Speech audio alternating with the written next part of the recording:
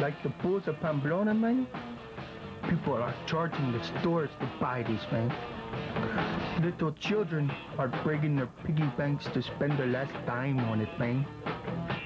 And little old ladies are turning tricks at the bingo hall just to buy it for their stinking grandchildren, man. What is it? The Tickle Me Meanie Doll, man. I this one Chico.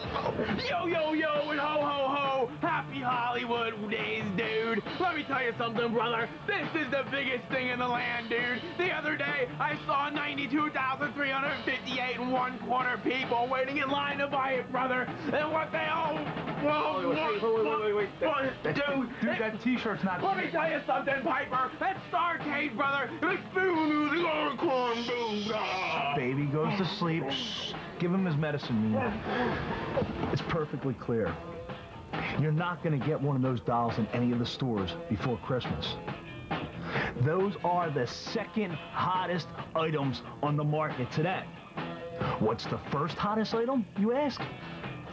The BWO t-shirt, of course. Now, what we're willing to do right now is, right now it's one for $20, but I'm willing to give it to you not two for 40 and not 760.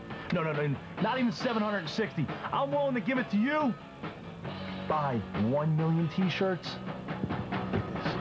Get one for free. Wow! Hey, it's the holidays. I'm feeling generous. Buy the shirt! Buy the shirt! Buy the shirt!